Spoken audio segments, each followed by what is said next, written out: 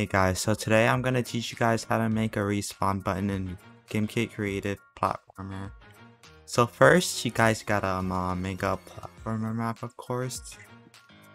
Um, yeah, so let's just name this map right now. This this also works on top-down mode. So let, let's wait for this to load. So the first step is to press E or add right here. And then you go to devices, you hit, you type respawn. I don't know how to, yeah, it's right here. And you're gonna, you're gonna set this to a random channel, of course. Let's just name that poop.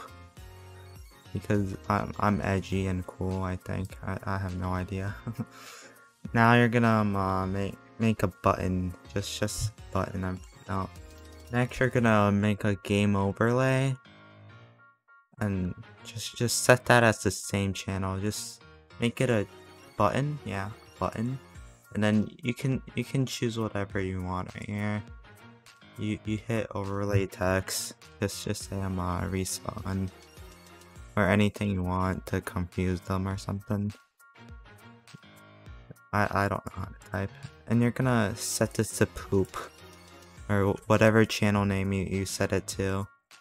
And I'm gonna show you guys how this works right here. So you see the button on the top top left? Yeah, top left. I don't know my left and right. And you're gonna hit respawn. Whoop. Yeah. That happens. Very cool. I'm gonna, I'm gonna show you I'm gonna show you this in a, a platforming game or something. So yeah, so you see here, I made a little cool map here. Now, set it to um, uh, I made a checkpoint right here, so I'm gonna show you guys how it works. I spawn here. I'm I'm gonna do this very cool parkour I made. Very, very not lazy. And yeah. Look, oh no, I'm gonna fall, and I, yeah, I'm gonna respawn. And look, it respawns me back. Yeah, more maps should have these, including your maps. So uh, that's how you make a respawn button.